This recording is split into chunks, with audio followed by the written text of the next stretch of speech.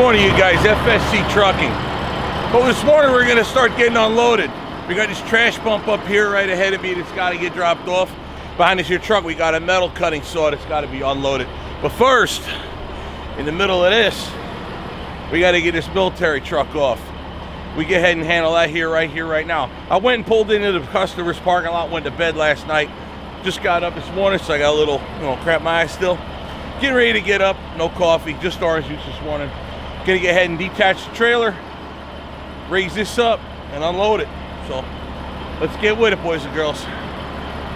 Whew. I need coffee this morning, damn.